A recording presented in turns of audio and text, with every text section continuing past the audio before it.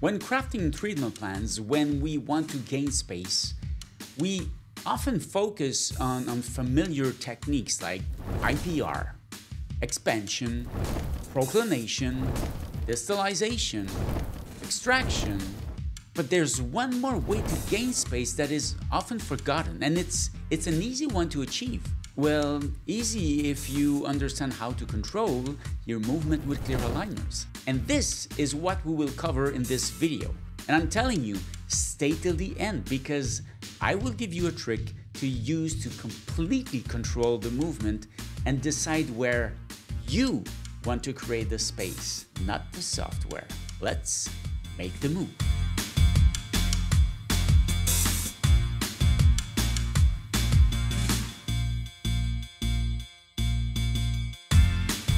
I'm Stephane Reinhardt, Director of the Education Program for the Clear Institute, where dentists make the move. Now, if you like these videos, please click the thumbs up and subscribe to the channel.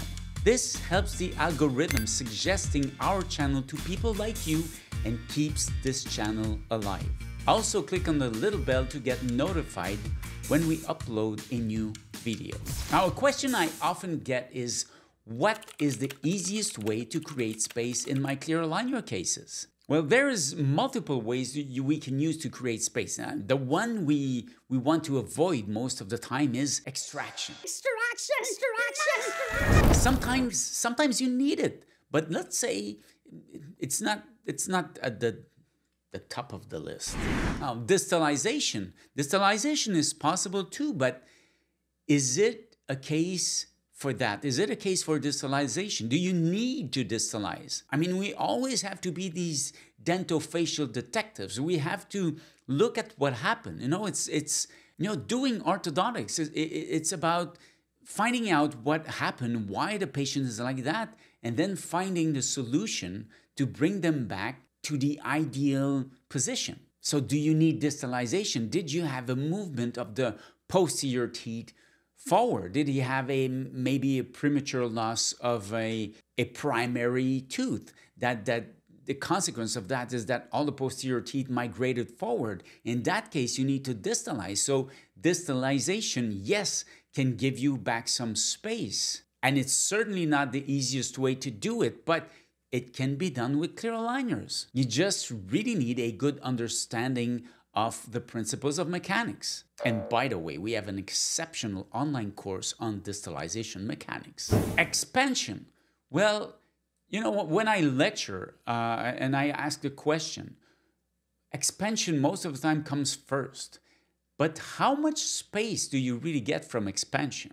And, and where? Where do you get it? Because in reality, you will usually get about half of how much you expand. Meaning, if you expand four millimeters, you will get around two millimeter of arch length and mostly in the posterior region. And most of the time, we want that space in the anterior region. So be careful with expansion and, and knowing especially that when you use clear aligners, it, it's not real expansion, it's mostly arch development that we're going to do, but you will not open a suture with clear aligners. Proclination. Proclination is probably the easiest way to get some space. But can you do it? Do you have the biotype that, that permits to do it? I mean, if you procline the teeth, will you end up with gums recessions? And you know how that feels. If you don't, ask me how I know.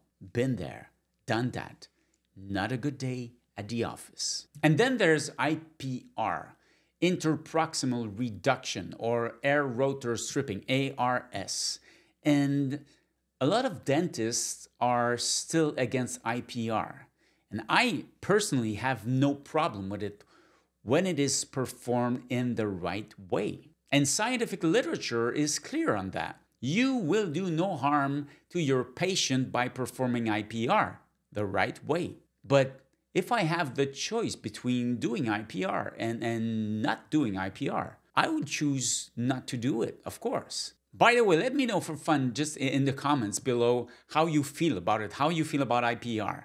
That would be interesting. So if you're against IPR, good, no problem. But if you need space, you need to find a way to create some space. So, What about the other option, Stephane? This is why we're here. yes, I know this is why you're here, and this is where it gets interesting. Now take a look at your molars. Well, not not your molars, but but the molars on the cases you are treating. Are they rotated? Now, what happens with rotated molar?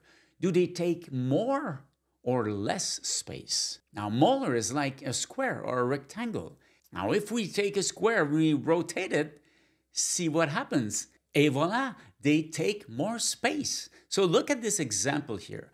Look at the rotated molar here. Now, if I rotate it back to the right position, you see that I'm gaining some space like this. See? So I'm gaining some space. It takes less space like that than it did before. But wait, wait, Stephane. I, I want this space for the anterior teeth. And here, the second molar is moving forward. Impressive. Very impressive. Okay, so how can we control that? And, and this is where you will be so happy that you stayed till the end. And by the way, if you're still here, it's because you like this video. So click on the thumbs up and subscribe to the channel. It really helps us going on and, and motivates us to continue creating content. And it also helps Google understanding there's a value to this channel. Okay, look at what happens when I rotate the molar here.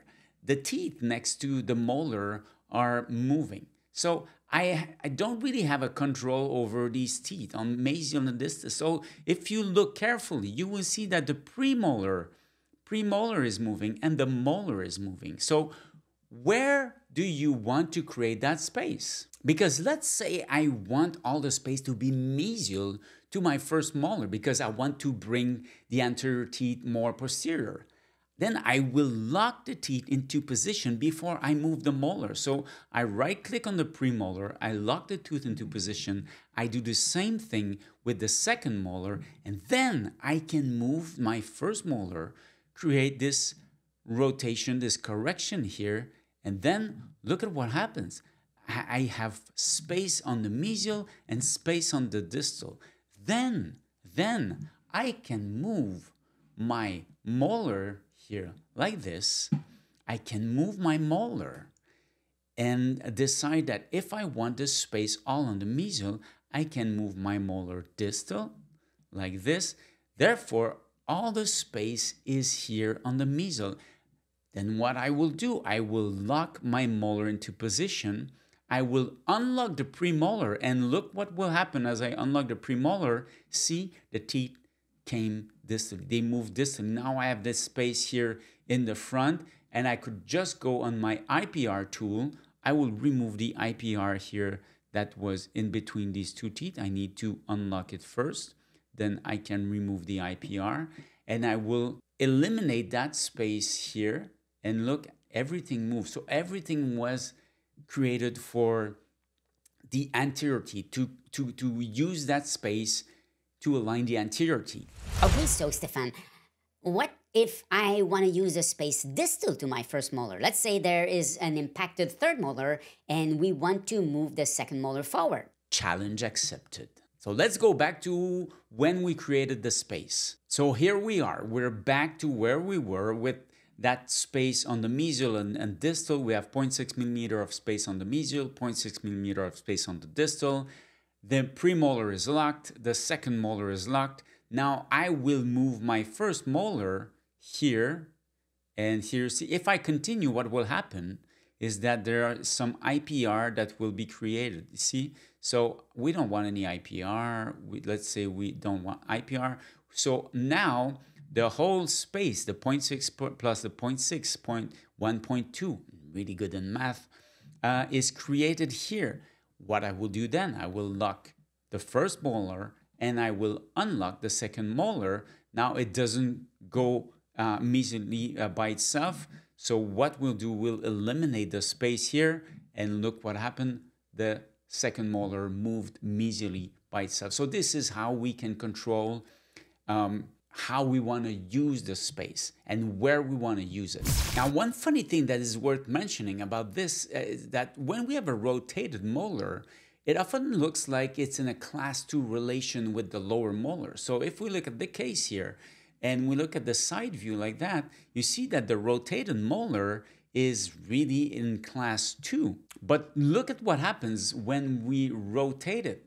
If I rotate it back, just by rotating, I can suddenly go back to a class 1 relationship. I mean, isn't this amazing? You gain space and you achieve a class 1 occlusion at the same time. Like my friend and mentor Jerry Sampson would say, how does it feel to feel smart?